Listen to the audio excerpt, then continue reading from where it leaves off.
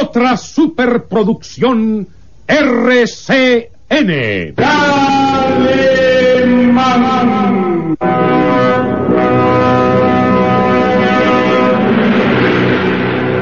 Caballero con los hombres.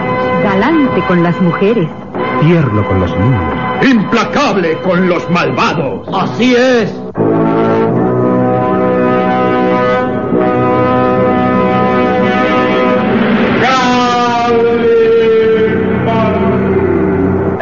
Hombre increíble.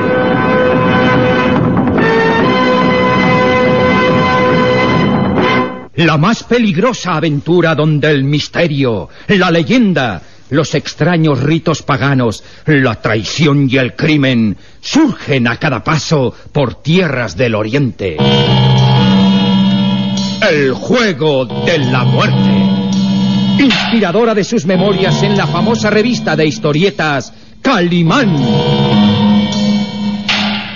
Estelarizada por Roberto Araya, Rita Rangel, Roberto González Cardoso, Luis de Alba como Solín, la narración del galán joven Isidro Olase e interpretando a Calimán, el propio Calimán. En un libreto original del mago del misterio, Víctor Fox.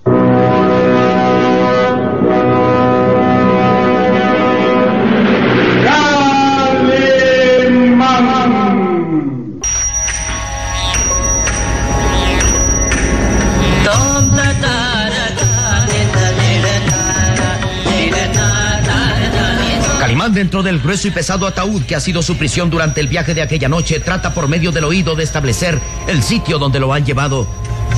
Sabe que están en el puerto de Omán, umbral del Golfo de Persia y entrada a tierras del Medio Oriente. Atado de pies y manos por los alambres que le hieren la piel, escucha atentamente todos los ruidos que le llegan hasta su prisión. Escucho las sirenas de los barcos anclados cerca y el griterío del mercado árabe. Sí, sin duda que estamos cerca del barrio árabe de Halb Hams. Escuché que el jefe ordenó que bajaran los ataúdes y los metieran a los sótanos. Entonces estamos sin duda ante un edificio abandonado, pues no es común transportar ataúdes a plena luz del día sin que haya testigos. Recuerdo que hacia el oriente del barrio árabe, cerca de los muelles, hay un antiquísimo edificio abandonado. Sí, claro, es la mezquita de Hulbabahal. Es aquí donde nos han traído. Ya no se escuchan las sirenas de los barcos anclados en los muelles. Ya no se oyen los gritos plañideros del mercado árabe. Estamos ya en lo más profundo de la mezquita. El frío y la humedad es sensible. La oscuridad casi total. Y a momentos, solo el destello de antorchas con las que se iluminan rompiendo la oscuridad. Recuerdo que una vez escuché decir que hace años los prisioneros de guerra que eran encerrados en las catacumbas de esa mezquita podían pasar 10 o 20 años tratando de encontrar la salida sin lograrlo. Son laberintos sin fin y la oscuridad, la humedad y el acecho de las ratas son enemigos imposibles casi de vencer. Oh, cometí un error. Un grave error al confiar demasiado en la habilidad de Boris. Creí que lo tenía todo dispuesto para viajar hasta Kiwi. El muy torpe fracasó ahora estamos en manos enemigas.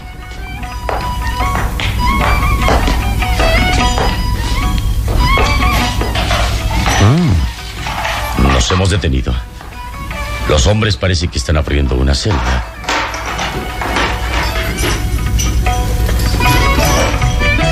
Escucho el ruido de cadenas. Calimán es sacudido violentamente y siente caer contra el suelo. Luego oye el ruido de pasos que se alejan.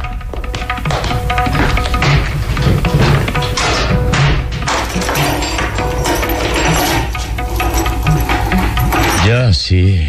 Me han encerrado en una catacumba dentro de este grueso ataúd. Condenado a morir.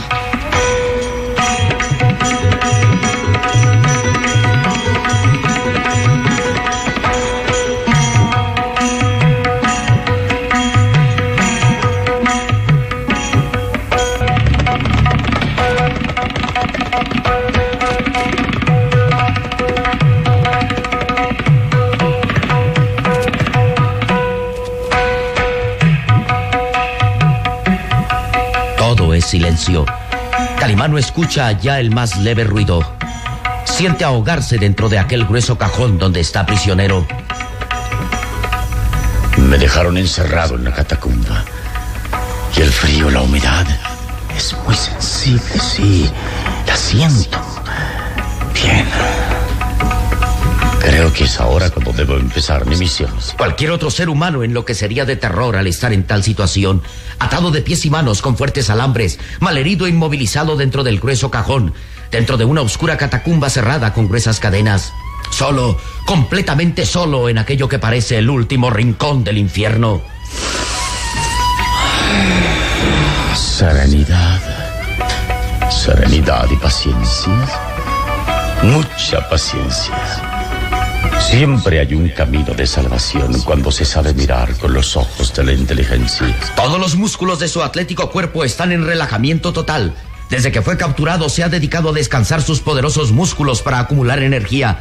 Sus heridas han cicatrizado gracias al control de la mente sobre lo físico, pero aún así el aire viciado, enrarecido, entorpece en algo el ritmo de su respiración profunda, por medio de la cual logra su control absoluto. Sin embargo, no se deja dominar por la angustia o la furia. Su superación mental ha enseñado que mientras mayor es el peligro y la desesperación, más tranquilo debe ser su espíritu para acumular energías a su mente lúcida y brillante. Bien, lo primero es salir de aquí. Romper las gruesas maderas de este cajón. Está boca arriba y aspira profundamente. Sus manos aprisionadas en la espalda están atadas con alambres. Su recio tórax de gladiador casi roza la tapa del cajón. Aspira profundamente y expande el pecho poderoso al tiempo que estira las manos hacia atrás.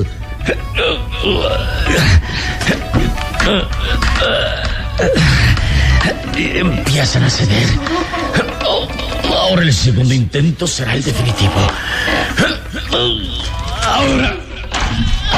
Las tablas saltan hechas pedazos y Calimán queda sentado aún dentro del grueso cajón, pero triunfante. Ah, bien, lo logré. Estaba en lo cierto. La más completa oscuridad me rodea. Qué humedad.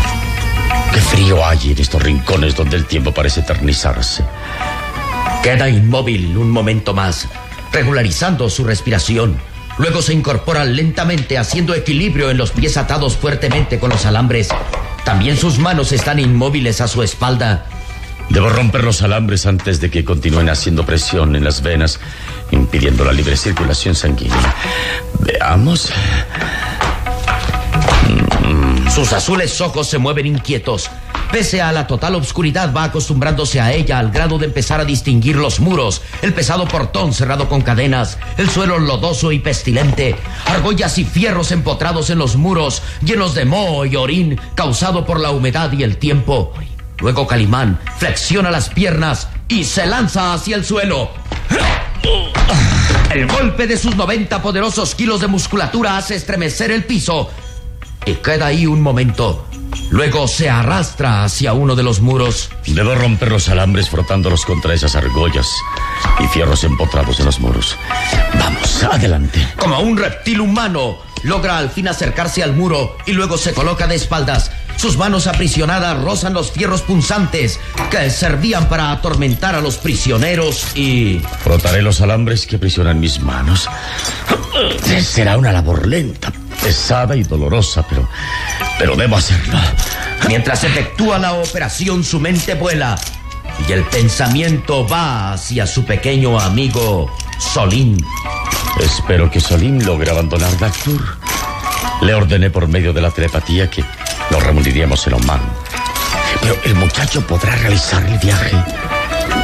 Ah, ¿qué habrá sido del Impo y el gigante Tanio? Lo primero es tratar de escapar de aquí. Después pensaré en descubrir quiénes nos capturaron y rescatar después al pequeño Abel. ¿Qué habrá sido de él? Y de Boris. Y de Merra. Sin duda que los tienen en lugares semejantes a este. Bien. No hay que perder el ánimo. Jamás me rendiré. No hay celda o calabozo que pueda aprisionar a Calimán por mucho tiempo.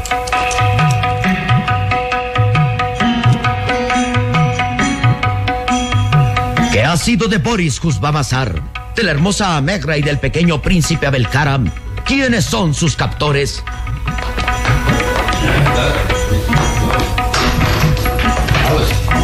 Las horas transcurren lentamente en las catacumbas de la mezquita abandonada. Se oyen pasos resonar lúgubremente, voces lejanas, órdenes y ruido de cadenas, puertas abriéndose, dejando que sus goznes lancen gemidos como de fieras. Y después, silencio nuevamente. La oscuridad, la humedad y aquellos muros pestilentes son como el último lugar del infierno donde un ser humano al caer pierde toda esperanza de salvación.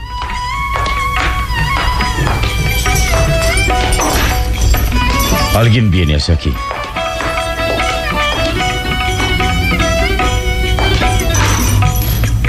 Los pasos se han detenido cerca de la puerta. Oh, y ya casi logro romper estos alambres. Calimán queda inmóvil, mirando entre la oscuridad hacia la pesada puerta de su calabozo. Casi está a punto de romper los alambres que aprisionan sus manos.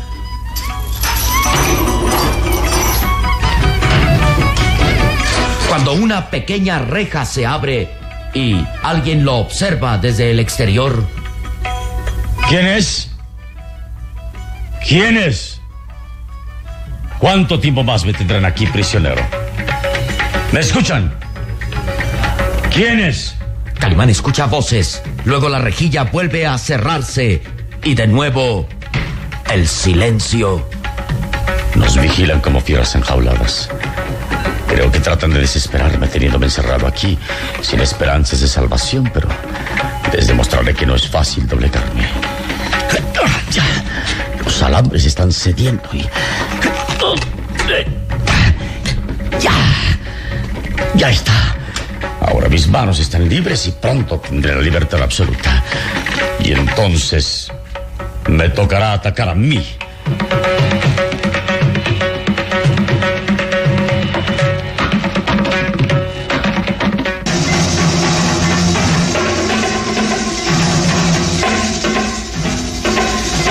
Amegra, la hermosa árabe, se estremece temblorosa.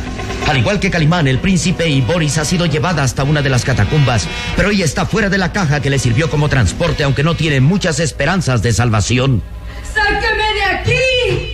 ¡Cobardes! ¡Miserables! ¡Socorro! Una y otra vez golpea la pesada puerta que cierra su celda. La oscuridad la envuelve y el terror la domina poco a poco. ¡Maldito seas, segura de que estarás pensando en escapar mientras yo me pudro en este calabozo. ¡Oh, sáquenme de aquí! ¡Cobardes! Sus gritos resuenan en ecos y llegan hasta las celdas del extremo opuesto de las catacumbas. ¡Cobardes! ¡Cobardes! ¡Sáquenme! Esa migra. Sin duda que la están atormentando. Oh, creo que este es nuestro fin. ¿Dónde estará Calimán? Cada prisionero solo vive con sus dudas, ignora lo sucedido a sus compañeros. Así el árabe Boris permanece en otra de las celdas con la furia pintada en el rostro. ¡Cobardes! ¡Miserables! ¡Sácame de aquí! Soy Boris Cosmarazar, legítimo representante del gobierno de Kiwi. Tengo la misión de proteger al futuro rey de Kiwi. ¡Ah, ¡Escuchad! ¡Miserables! ¡Sácame de aquí!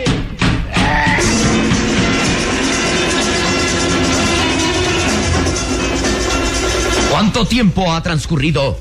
Calimán no lo sabe. Al fin ha logrado romper los alambres que aprisionan sus manos y pies y permanece inmóvil cerca del pesado portón que cierra su celda. Al menos están vivos. Tal vez los atormentan. Oh, debo salir de aquí. Debo romper esta puerta, pero. Pero ¿cómo hacerlo? Es demasiado poderosa. Zafando los goznes que unen la puerta, claro, sí. Pero están enmohecidos. Tal vez pueda zafarlos de su sitio. Bien, adelante. Jamás me daré por vencido. En la celda ocupada por el pequeño príncipe todo es silencio. El muchacho lleno de angustia se ha refugiado en un rincón pensando que solo la muerte le espera. Y luego escucha... Alguien llega. Escucho voces. Creo que van a abrir la puerta. ¡Ah, vienen a matarme!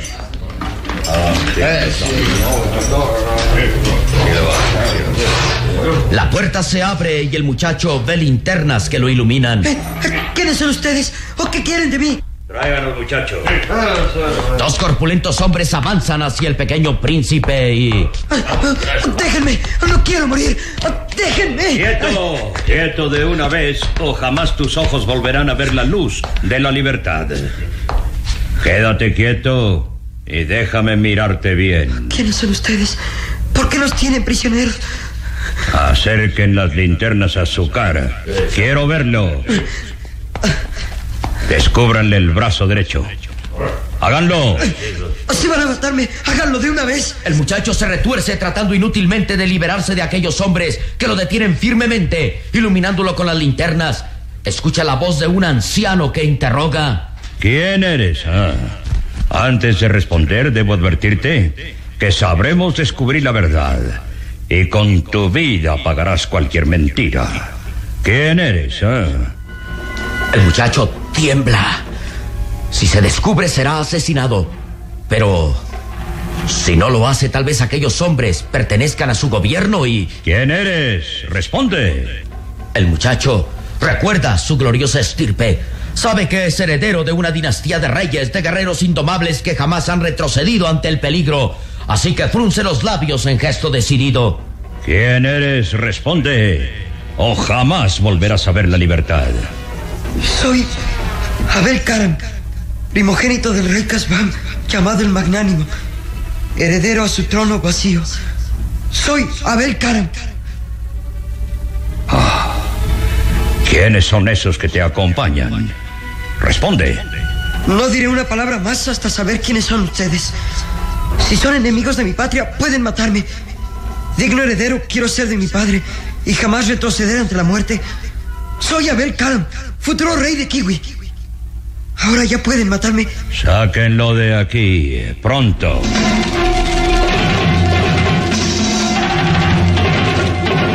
Calimán continúa en su labor. Poco a poco ha ido desprendiendo los goznes de la pesada puerta de la catacumba. Sus manos sangran. El esfuerzo por zafar aquellos hierros enmohecidos es labor difícil, pero continúa con el afán de escapar. Solo falta uno más y entonces la puerta quedará frágil. Tal vez descargando un fuerte golpe caiga así.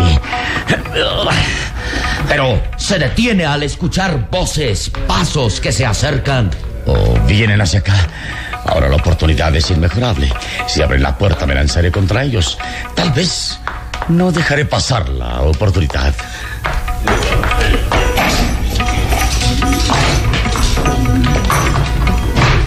Calimán retrocede oculto entre las sombras, teniendo las manos libres para pelear y vencer. Observa cómo la pesada puerta empieza a abrirse y... Contiene la respiración. Ve a varios hombres permanecer inmóviles, mirando. Luego escucha una voz. Sale ahí. Sale ahí, prisionero. Este es el momento. Vencer o morir. Calimán avanza con paso firme, aprieta los puños y todos los músculos de su atlético cuerpo están en tensión. Sus azules ojos brillan intensamente calculando el número de enemigos y justo al llegar a la puerta... ¡Otra vez! ¡Atrápenlo! Lo atacan utilizando grandes redes y golpeándolo. ¡Vencer o morir! La lucha es encarnizada. Los golpes de Calimán son definitivos, pero el enemigo, armado por las redes y numeroso, lo aprisiona y los garrotes caen como centellas sobre su cabeza. Pelearé. Pelearé hasta el fin. Hasta el fin.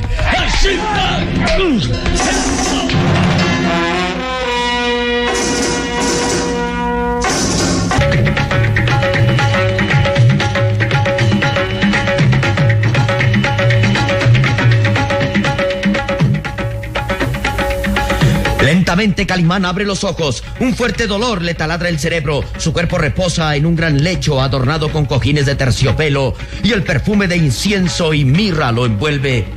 Oh, ¿acaso emprendí ya el largo camino sin retorno al más allá y estoy en otra vida? Se siente confortable.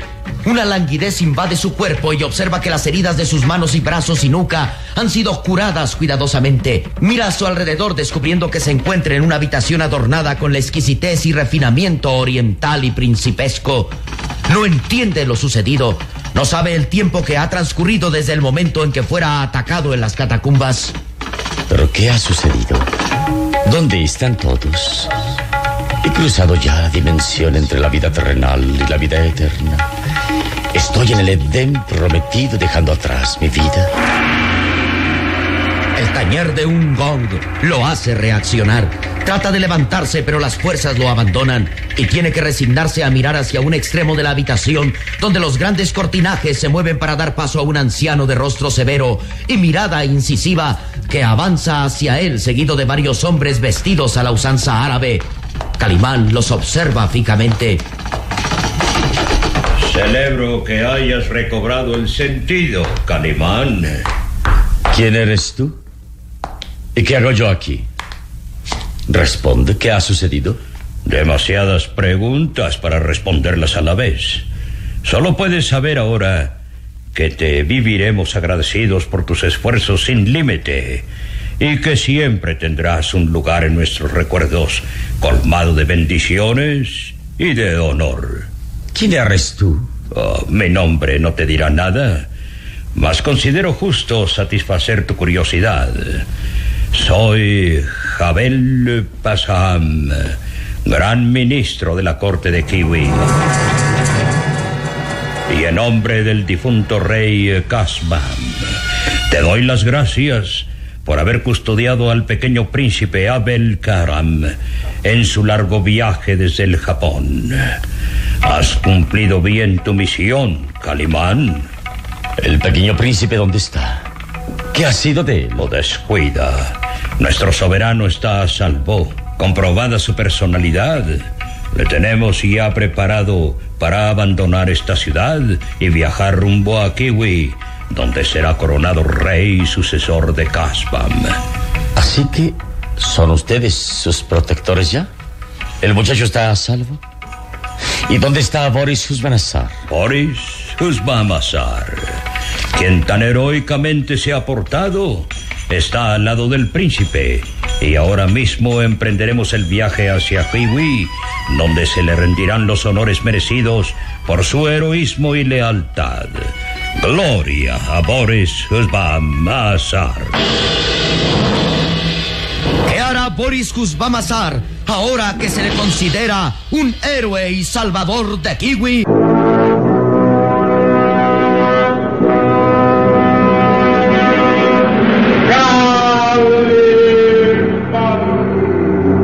En nuestro próximo programa habrá más emoción y misterio en El juego de la muerte.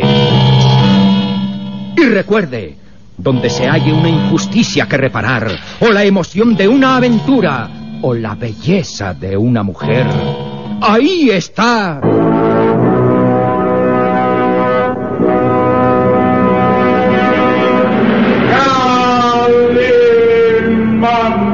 El hombre increíble. Es otra superproducción RCN realizada por Alpha.